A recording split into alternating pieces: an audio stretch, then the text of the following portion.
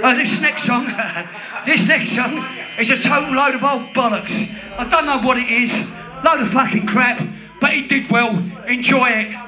Whatever it's about, it's the greatest Cockney rip-off.